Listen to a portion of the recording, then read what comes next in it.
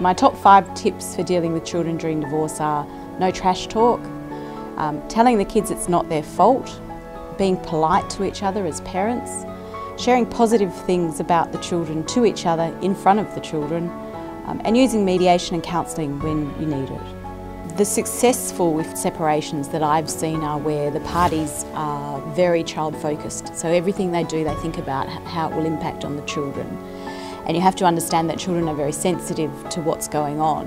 People feel so bad about what's happened that they want to compensate the kids by giving them what they want. You know, don't spoil them, don't give them everything they want because, you know, ultimately you end up with children who aren't well balanced. Research shows that children can actually come out of the divorce better than before, more resilient, um, if it's handled in the right way.